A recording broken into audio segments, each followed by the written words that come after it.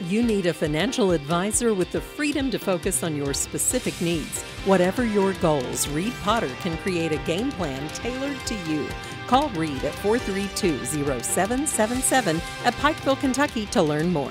Saturday, January 22nd, Invest 606 will be hosting its demo day from 1 to 3 at the Overlook Events Center.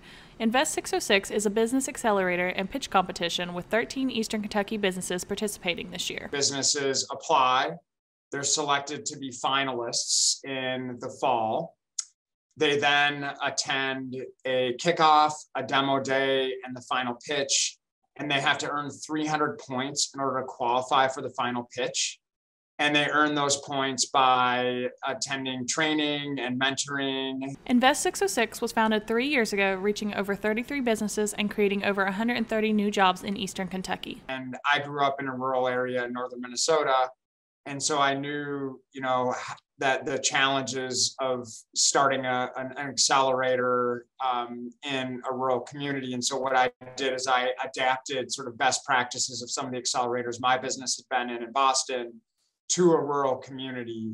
Demo Day gives the business owners a chance to pitch their businesses to the public and network with other small business owners. It'll be a great networking event. So, anybody that's interested in learning more about how to start a business, has their own business, wants to learn about Invest 606, um, or just wants to network with uh, other entrepreneurs who are running and, and owning businesses in Eastern Kentucky, they should come to the event.